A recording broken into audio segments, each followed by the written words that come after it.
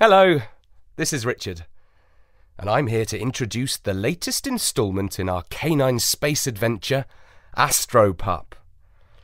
If you have heard the earlier stories, you will know that Astropup tells them in his own words. So, if you'll just hang on for a moment, let me adjust the microphone stand down to dog level. Thank you, Richard. This story is about a moral dilemma. A moral dilemma is when an animal, or a bird, or a person, or perhaps even a fish, and I suppose we shouldn't entirely dismiss insects and creepy crawlies, has to look deep inside his or her soul and ask, is it more right to do this or to do that? This or that? Left or right? Up or down? Sometimes both ways are a bit wrong and a bit right. So which way do you go? I had this moral dilemma while on a routine mission to the moon. As you know, by the standards of the universe, it's a little more than a skip and a jump to the moon, a mere 240,000 miles. The humans gave me a special probe to take there. It was a gizmo that measured moisture and temperature and ultrasonic thingies and solar whatnots and all sorts of clever stuff. Some smart Alex scientist made it in the shape of a bone to encourage me to bury it. My comrade, the parrot, who came along with me, thought that was very funny. Our lunar module touched down on the moon nice and soft like. After two days cooped up in that tin can, I was desperate to go for space walkies. And I wasn't going to hang around while the parrot put me on a lead. I bounded out of the hatch and out onto the moon. Soon I found myself bouncing around like a rubber ball. On the moon, you take a little leap and you fly forward about 12 feet. It's great fun. I barked with glee. Haven't you forgotten something? squawked the parrot major, adding, Dunderhead! He was never the politest of birds. And yes, I realised that I had. Of course, Oh, I'd left the bone shaped space probe behind on the ship. I used my tail as a rudder to try and steer myself round and back to our craft, but it had no effect, and I just kept bouncing in the wrong direction. Help! I can't stop! I called out. The parrot came hopping after me, but not nearly fast enough to catch me up. I must have bounced uncontrollably for about a mile or so before I finally came to an abrupt halt in a shallow crater.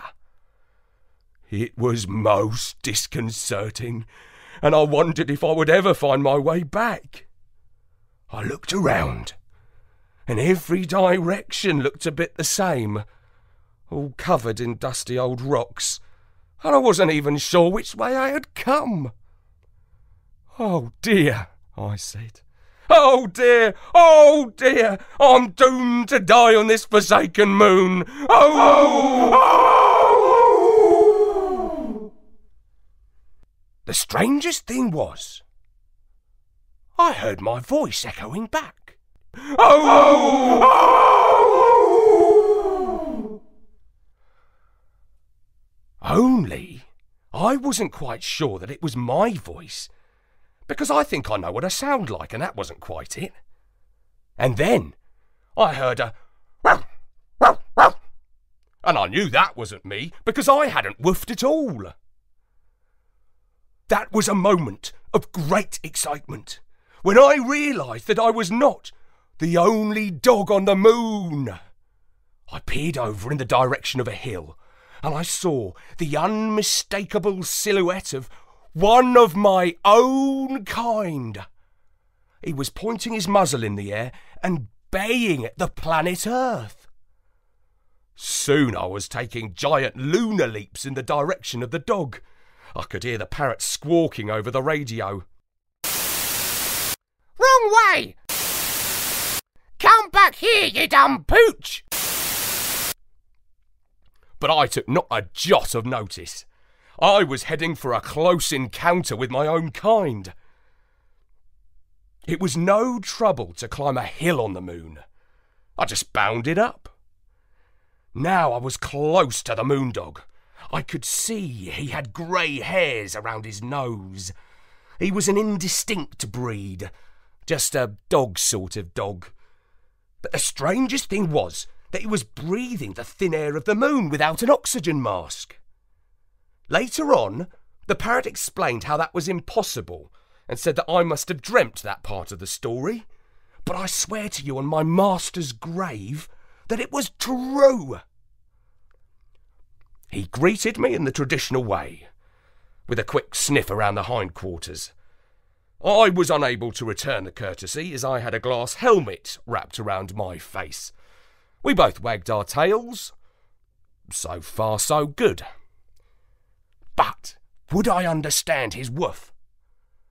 I was pleasantly surprised when he said clearly and without an accent, I have been waiting for you these past two thousand years. Oh, I said, I'm sorry I'm late. No, said he, you are right on time. I must give you this. And so saying, he scratched at the moon dust with his paw and revealed a small golden object. What is it? I asked. It is, said he, the key to the universe.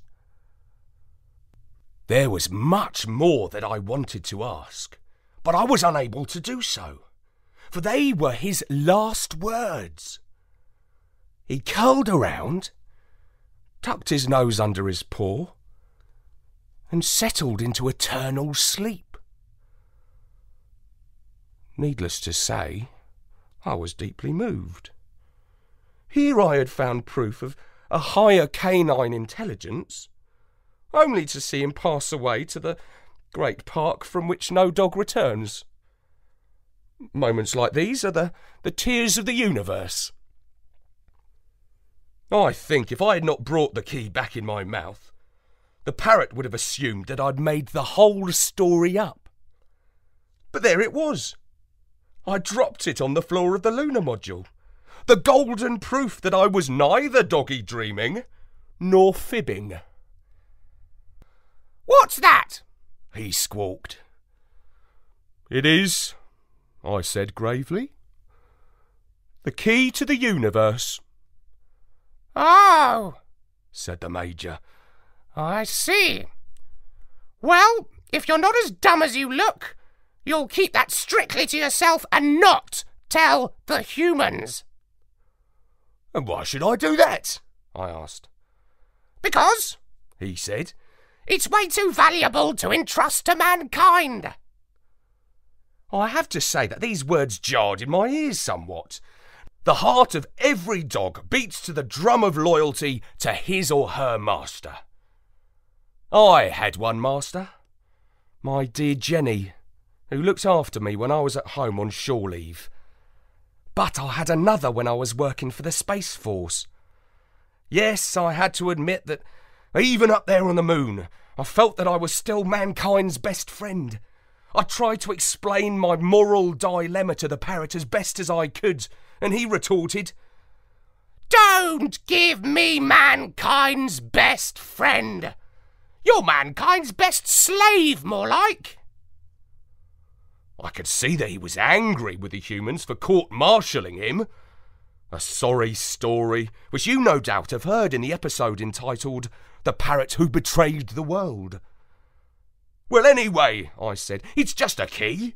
What's all the fuss about? Ah, said the parrot, it's not just any old key. This key will open Pandora's box. Panda's box? I gruffed quizzically. Pandora's box, Clothies, said the parrot. Now, the parrot, of course, was the brainiest bird I've ever known. Apart from, of course, the wise old owl who commanded the ship of birds. But that's another story which perhaps you've heard. My friend the parrot major spent every spare moment stuffing knowledge and learning into every cell of his bird brain. And so it was not entirely surprising that he knew the story of the key to the universe.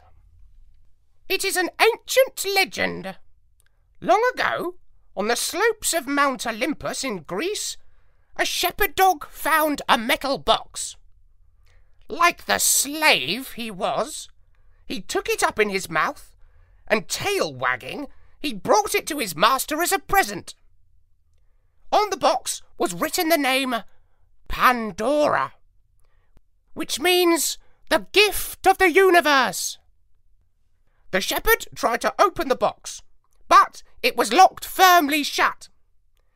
He took it to his friend the blacksmith, who put it on his anvil and bashed it with all his might with his heaviest hammer. But still the box would not break or open or even dent. The box was indestructible.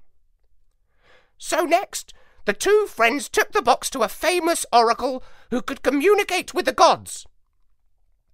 She told them that the box contained the secrets of the universe. But to open it, they would need the golden key, which, she said, was buried on the moon and guarded by the moon dog. She predicted that one day the key would come back to Earth, the box would be opened, and the secrets of the universe would be revealed to the opener.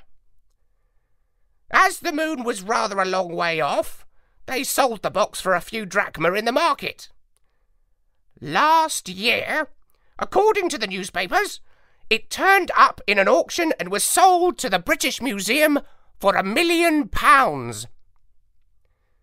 The museum asked the help of the best locksmiths in London, and yet not one of them could prise the box open. They even hired an ace safecracker who had robbed several banks, but even he failed. Right now, it is on display in the museum. All we have to do when we get back to Earth is to break into the British Museum, steal the box, and open it. And then we will be in possession of great knowledge that will make us rich and powerful beyond our wildest dreams.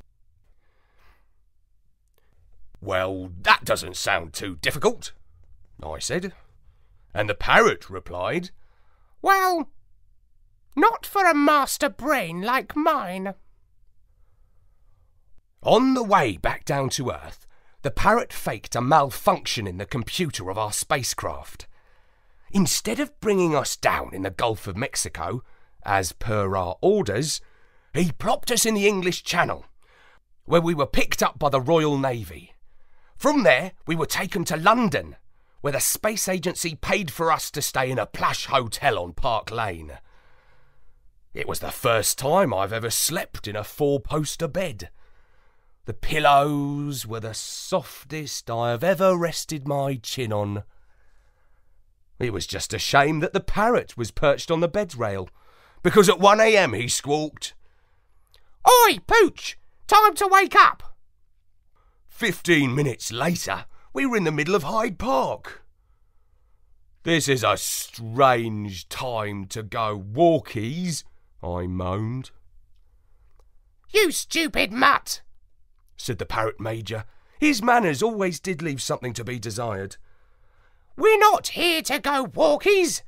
We are here to hide the key. Now get digging. And so I dug. And then he told me to dig some more, and some more, until the hole was deep enough to satisfy him. Finally, he dropped the key in, and I covered it up with earth using my hind legs. Next stop was Russell's Square, which we reached by night bus. We found ourselves outside the firmly closed gates of the famous British Museum. What next? I asked the master planner. Wait and see, he said.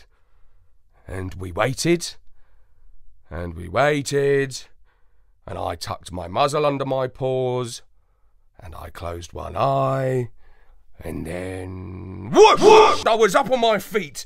A streak of light shot out of the sky and straight through the dome of the museum.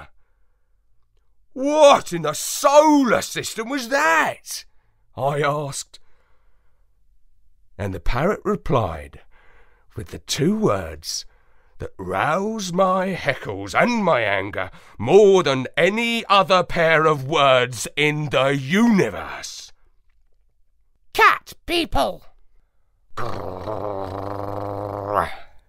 I said, and then for good measure I added, The din I was creating enhanced the general sense of confusion. There were alarms and sirens going off all over the place. It's no good barking your stupid head off, snapped the parrot. Calm down and stop all that silly noise. The cat people have been following us ever since we left the orbit of the moon. They're after Pandora's box the same as we are. But are we just going to let them take it? I asked. Yes. Yes? Yes, because it's no good to anyone without the key. And only we know where the key is hidden. Now wait here while I have a quick parley with the enemy. So saying, he flapped off up to the roof of the museum, where two hideous forms were already climbing out of the hole that they had made with their incoming vessel. From a distance, you might have thought that they were a couple of ninja humans, more flexible and better balanced than most, but pretty much like people. But the arching of their spines, the backward bending of their knees, not to mention the curling of their tails, were all giveaways to an experienced space dog like me. There was no doubt about it. They were cat people, all right. Ugh. I could see that the parrot was fluttering about their heads, just out of claw distance, and speaking to them. But not for long, because soon the sky filled with the juddering noise of a police helicopter. In an instant, they were off into the shadows of the London skyline. The parrot flew back to me. We'll meet them in Hyde Park just before dawn, he said. Oh, yuck, I replied. I found it hard to contain a growl when we came face to face with the hideous cat people. Quite frankly, I was most furious with myself for if I had stayed true to my instincts and loyal to the humans, I would not now be dealing with the most treacherous species in the universe, a horrific form of cat. This was what came of putting my trust in a parrot with a grudge the size of infinity. They had what some deluded humans might consider to be pretty kitty cat like features neat purse like lips, pink little noses, and pointy velvety ears. Their eyes were sly little slits that shone in the dark. Oh, it makes my stomach turn to think of them. Compared to an earth cat, they were huge, but by the standards of cat people, they were on the small side. They were the most dreaded and dangerous sort of feline, they were Siamese cat commandos from an elite regiment that prowled deep behind enemy lines, leaving chaos, mayhem, and confusion in their wake. I said I couldn't help myself, and both the cat people raised their laser guns that were strapped across their chest. Steady on, squawked the parrot. We're meeting in a spirit of intergalactic cross species trust and cooperation. Well, I'm watching their every move, I said. Likewise, hissed the nastiest looking of the cat commandos. The parrot turned to me and said in a haughty voice, Your job is to shut up and dig. And so, turning my hind quarters on the cat people, I started to dig, and in doing so, kicked earth in their faces. I could hear them hissing, sneezing, and spitting out dirt. That made my work rather pleasant. Finally, I found the key and held it firmly between my front teeth. There was no way that I was letting it go before they produced the box. One of the cat people placed it on the ground and stood back, covering it with a laser gun. Put the guns on the ground over by that tree, said the parrot, or the deal's off. And after some mewing and complaining, the pair did as he said. The parrot took the key from me and turned it with his beak in the lock of Pandora's box. The lid sprung open one of the cat people pounced and tried to grab the box, but I met him with barred teeth, and he backed off. Okay, everyone, calm down, said the parrot. It appears that there is a scroll inside this box, and on it are written the three secrets of the universe. They are in ancient Greek, of course, but fortunately I have made a study of the language.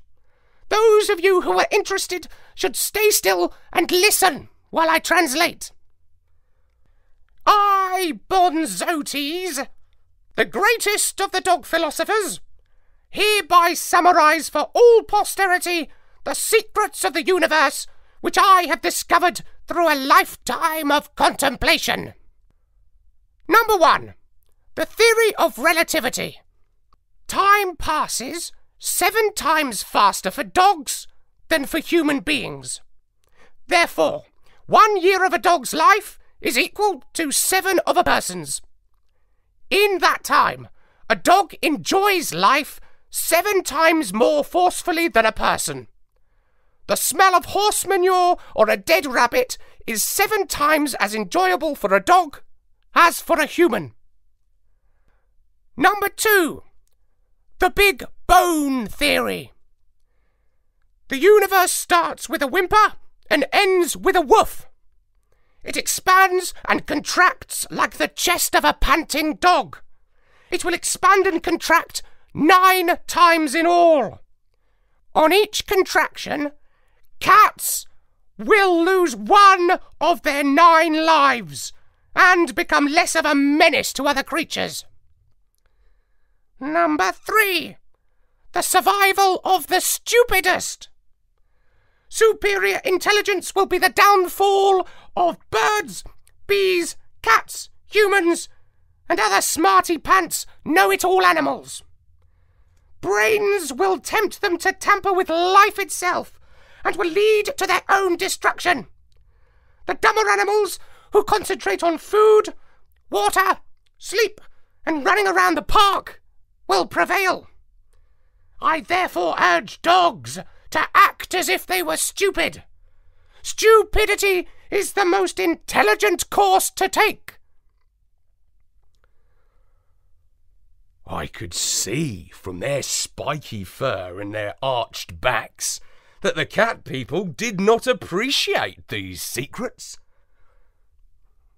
You're making it up, hissed one.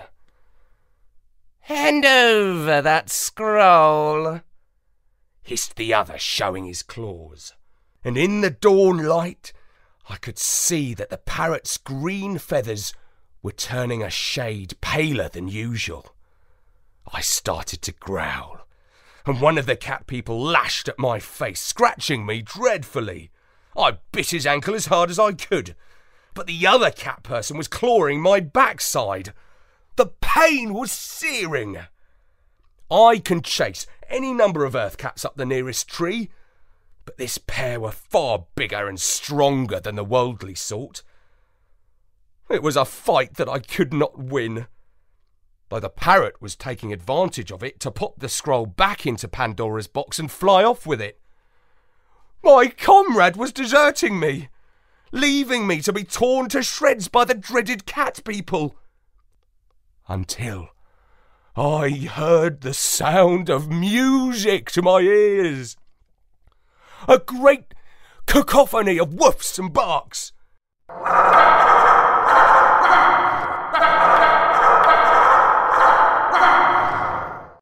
Two Alsatian dogs and a Doberman pinscher came running down the hill to where we were fighting. The stench of cat must have filled the morning air of the park. They went crazy for it and were ready to shred the catty alien intruders. The cat commandos saw that their number was up and turned and fled. They would have liked to have grabbed their guns, but by now some bulldogs were standing between them and the tree. The cat people headed straight for their spaceship, which was just then collecting an early morning parking ticket on Park Lane. I saw them shoot up into the sky and into outer orbit. Good riddance! I growled as the park dogs gave them a send off with a chorus of barks. I saw some early morning human strollers staring up at the sky. So, the cat people now shared the secrets of the universe with the parrot and me. And a fat lot of good it would do them. I thought of Bonzotes, the brainiest dog of them all and then looked at my new park friends as they woofed and howled. And I thought, yes, dog kind is safe. We have followed the advice of the Great One.